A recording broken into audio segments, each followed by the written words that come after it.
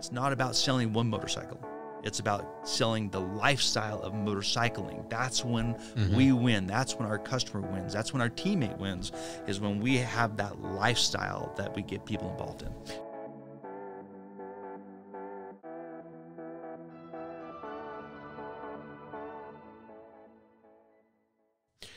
Welcome to Conversations with David Ibarra. Today we have as a guest Vance Harrison, CEO of Motos America. Welcome, Vance. Thanks for having me, David. Well, today I can't wait to talk about. We're going to be talking about motorcycles. We're going to be talking about experience. We're going to be talking about a new way to be involved with buying and enjoying a motorcycle. So tell us about Motos America and what made you think of doing what you're about to tell us. Sure, sure. Well, people often ask me what business that we're in. What business is Motos America in?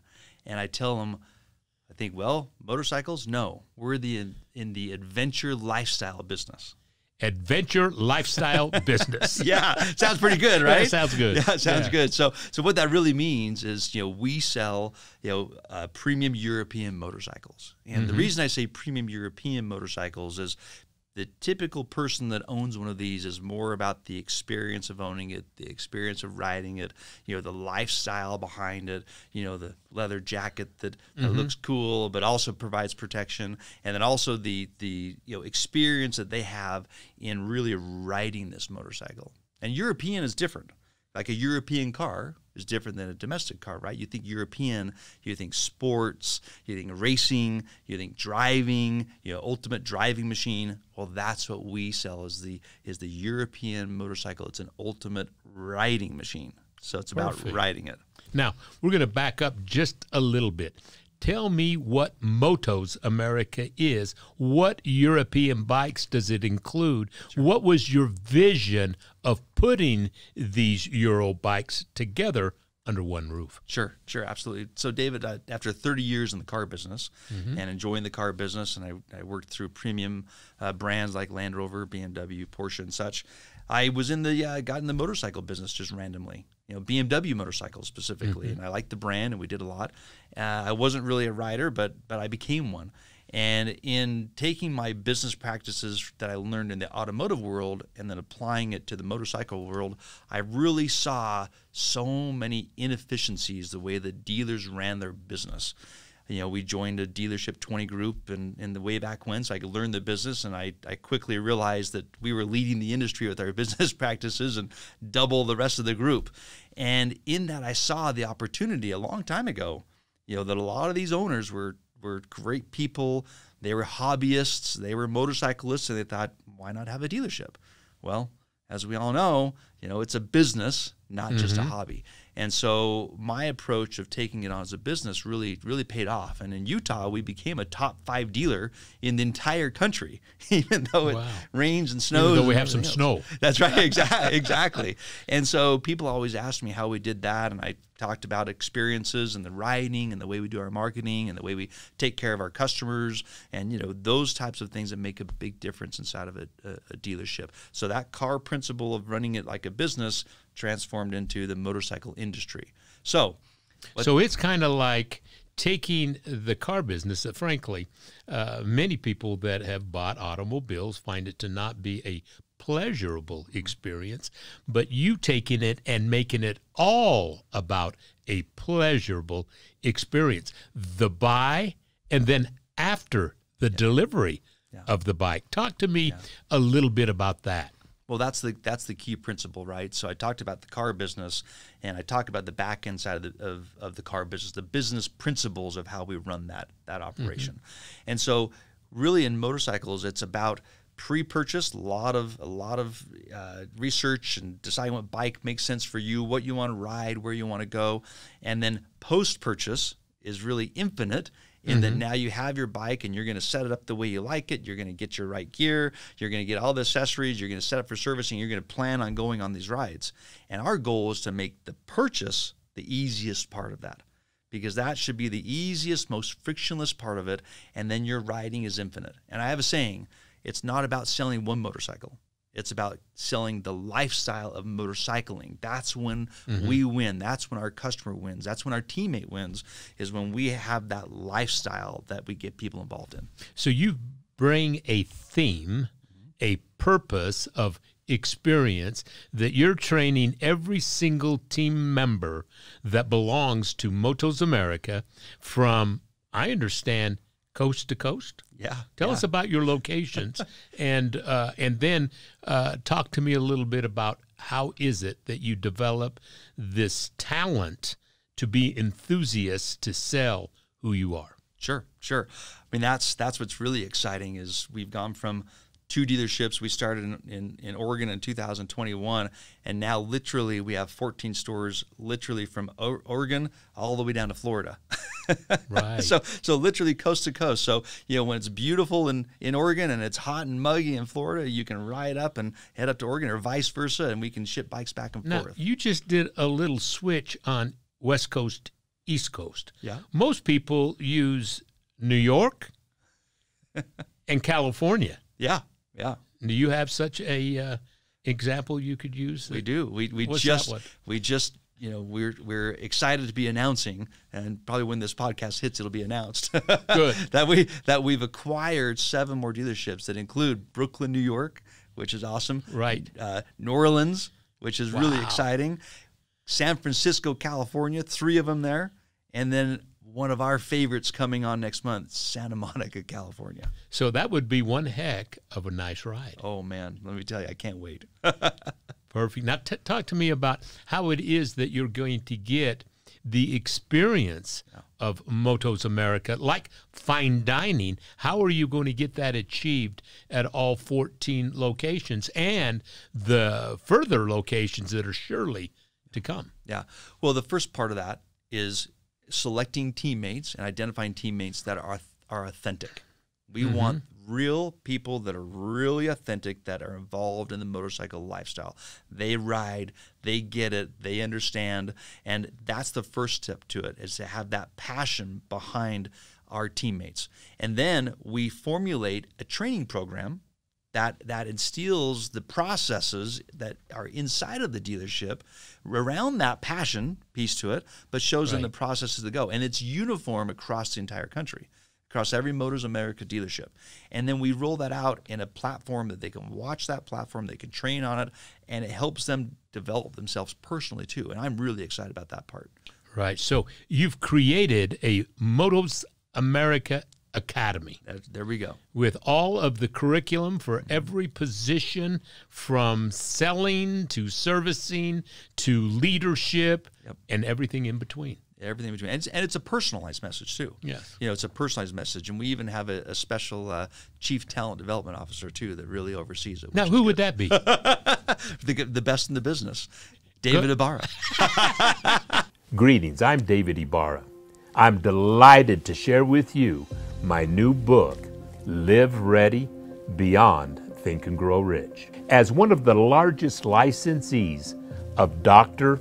Napoleon Hill's Science of Success Principles, I've taken it upon myself to modernize these principles and to share these principles in my own voice. I promise you, if you read this book and become a disciple of these principles, it will change your life. Order it today on Amazon.com. Thank you. I, I, I know a little bit about what we were doing, so I was ex- really excited, Vance, to have you on the program and to talk to people about enjoying the experience and interaction you have with other human beings that are like you. You often said uh, to me when we were first getting together, we save lives. Tell me about that. You know it, it's really something that's dear to me and it's really formed the cause of motos america. And the cause is to, to better the motorcycle lifestyle for our mm-hmm. teammates and our customers. And and where that came from in owning car dealerships and also owning motorcycle dealerships as i started to get more involved in motorcycles i'd go on these rides with people. And mm-hmm. at the end of the weekend and the next time they came in they'd say thank you. Oh yeah sure. No. Thank you you saved my life mm. And I'd say, well, what do you mean? He said, well, I, I had this happen, this tragedy, this big life moment happen. And Right. getting a motorcycle and going on a ride and you guys organizing and getting me out of this and getting my mind changed and getting my thought process literally saved my life. And it was a powerful moment for me. Right. You know, I never had someone come and say, Hey, thanks for selling me this car and save my life. And we had some fun cars, of course, but you know, nothing that powerful. And that's that's what I want to steal in our team members and share those stories because they have the same exact stories, David. Right. And they get it. And to, and to remind them how lucky we are to be in an industry that's based around passion, but also gives so much fulfillment for people. We're so fortunate. You know, I, I was reading a article recently, a few uh, months ago, that said one of the major crises that our country, the United States of America, is experiencing is loneliness. yeah. Loneliness. We have almost stopped gathering. We don't know the person, all the people that live in our neighborhoods. Yeah. We go to a, uh restaurant and we stay on our uh, smartphones and don't talk to anyone. And, and and it was intriguing the things that you're doing. In uh, you talked to me about a couple of rides. Share uh, with our viewers what that was in uh, Thailand and and other places, and and, and and and and what was the experience? How many drivers actually uh, participated in this incredible ride? Sure. Yeah. Well, and, and to, to expand on that, I've thought about this of you know this smartphone you know environment we live in. Everyone's stuck on this phone. Well, guess when you can't be stuck on your phone? When you're riding a motorcycle. You are present in that moment for that next turn coming up, for that next straightaway. You're not texting or talking or doing anything else. You're focused on it. So I took a group. I've done a few of these. I'm very fortunate to be able to do this. But I took a group to uh, to Germany last year, actually over July 4th, and we did a, uh, a trip to the Italian Dolomites which was unbelievable. And we started in Munich and we went through Austria and went into into the Alps and went over to Italy to the Dolomites and all these ski towns. And it was a it was a seven trip, seven day trip, and uh, we did unbelievable things. We challenged ourselves, we pushed ourselves. It was hot, it was cold, it was just in, incredible meals and waking up early and going to bed late. It was amazing, and that really engaged each one of the people on the trip. That they became friends. Right. I've seen lifelong friends that have now that, that, that came from a motorcycle ride, and literally communities that have been built around that. It's really special. H- How many uh, individuals were a part of the group? Sure, 14. 14. 14 on that on that ride. We just and then after that we did a, a ride to, to Thailand as well. And how many days? Yeah, we did seven days, Seven days. on that trip. And these are not easy days. This isn't Mm-hmm. like luxury. This is you're on a motorcycle, you're doing the Stelvio Pass that goes from 2,000 feet to 11,000 feet and twists and turns back and forth. And you're thinking to yourself, oh man, I'm going to fall off this cliff. And, you know, wow, that's a dollar drive. And then all of a sudden you get to the top and you're like, woohoo. I mean, that, that bonds people together, Mm-hmm. right? That sense of achievement, you overcome something, that bonds people. Tell me a little bit about the brands that are being uh, put together. Sure. Sure. Yeah, I mean, we're focused in on the premium European brand. So what that really means is BMW, Ducati, and Triumph. And those those are all individually owned. They're all separate companies. So BMWs we know, Ducati's owned by Audi company actually, and then Triumph's a, a, a individually owned out of England. But they're all complementary to each other.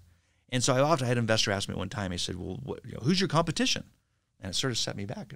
Wow, I mean, in reality, we have all of our competition. So if, if you drove a Mercedes car and you want a new car, what would you look at? Probably a BMW or an Audi. Well, we mm-hmm. have all those under the same roof. so Right. it's it's pretty cool, but they complement each other. You know, Triumph is a good entry level into that premium European brand, and then you may get a Triumph, and then you may also buy a BMW or also buy a Ducati because different than cars, motorcycles you can have more than one.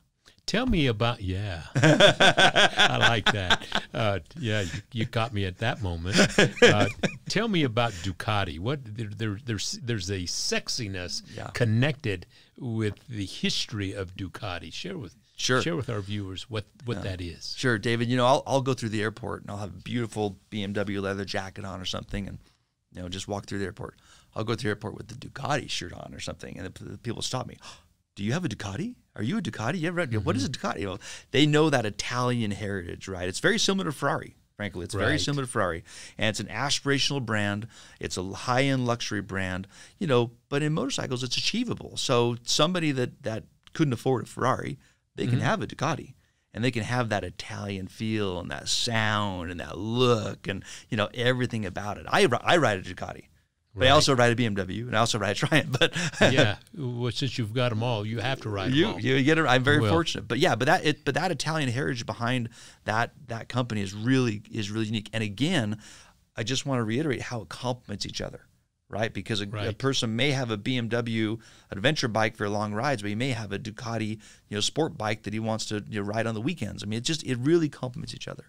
Well, I know which one that I'm going to get. and uh, I was in Italy and I was in a uh, town. I can't recall the town, but came around a corner and there was a Ducati a cafe, coffee, if I believe. Yeah, and they had an unbelievable uh, offering in uh, boutique of jackets and shirts and uh, different riding uh, uh, uh, items to go with it, and it was inside. It was plush, Yeah, and it was an- big yeah, and plush. and an experience, Right, right? That right, was the experience. right away. That's that's Yeah. how I got introduced, and I know what I want, so I better work real hard to get ready to go get that. You may know someone. Okay. Well, I, yeah, I think I do. so, tell us about what is the dream of what you're doing. And again, it's obviously you're you're going into towns and bringing maybe not as sophisticated business approach, bringing these together and having it more in an experience that you have lived, you have you're not talking about something that you haven't done yourself and making it absolutely common within the family of dealerships. What is is is the number you're looking at? How what's your growth projections? Sure. Uh, when is it that somebody that's watching this program can expect a Motos America coming to their town? well, it's a big question. So, Motos America, in our consolidation, uh, in buying these dealerships in these in these towns in these markets, it is a Motos America dealership. But one thing that's really important: every dealership is branded for their their town, their community. So we have Triumph of Brooklyn. You know, mm-hmm. Triumph of, of Santa Monica, mm-hmm. BMW Motorcycles of Portland. And that's a mm-hmm. really important point to make because while we're the organizer of it and we're bringing it together, motorcycling is very individual. It's very personal, and we want to have that community store be a part of the community, be be that touch and feel, and be authentic, right? Mm-hmm. And it's not a corporate. We the corporate is just us helping organize that authenticity and that experience for the customer, and that's the critical piece to it. So while we have Motos Americas across the country, we always want to make sure they're community-minded dealerships. So community minded, being Triumph of Brooklyn or Mm-hmm. what have you, and then smaller, but bringing everybody together, a Motos America uh, dealership. Yep. is That- more of the brand. Yeah, that's right. And so now someone can you know can buy a bike from you know whether it's Portland or whether it's mm-hmm. Seattle, and they can ride across the country to Nashville, Tennessee, and they know that level of service that they're going to get when they go to a Motos America dealership. They understand it. In fact, they even have an app on their smartphone that gives them loyalty and gives them maps and gives them check-ins that they can now interact with Motos America on it. They can even buy their loyalty points that they bought from motorcycle and cash it in from Portland or cash it in down to Florida. Pretty cool. Pretty That's cool how you can network it. And then also riding around everywhere, you know, they can maybe trade in a bike in one place and get a new one down in Daytona Beach for Mm-hmm. bike week and then ride it home.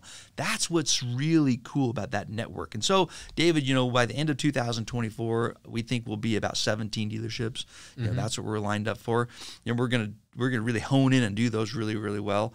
And then there'll be more opportunities that come after that and we want to take those opportunities you know uh, and make sure that they're the right fits for uh, fit for us but you know we would love to see a, a Motos America dealership pinpointed across every you know not every state but across the nation you could ride to individually That would be great. pretty cool Now I'm going to ask you a hard, hard question. oh good what is the difference between a Eurobike Hmm.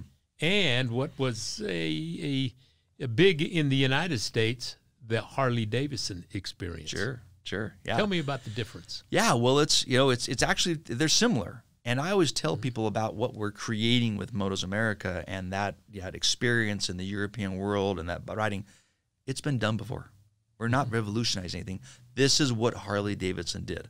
They took a in the 80s a subpar motorcycle right that leaked oil and shook and whatever else mm-hmm. but they made a lifestyle and a, an identity around it and we know what that turned into Right. I mean it is unbelievable and nobody went on a long ride not well they would they, they would go on longer they're Yeah, pretty they're pretty they tough. would they would take a lot of breaks they take a lot of the breaks and- rear end couldn't handle That's right. a long eight hour consistent They drive go a lot of straight rides, but in a European one. So now what's happened is that Harley Davidson is that 900 pound gorilla, but that that client base is aging out a little bit now, mm-hmm. and they and now is with the new the new demographics coming in.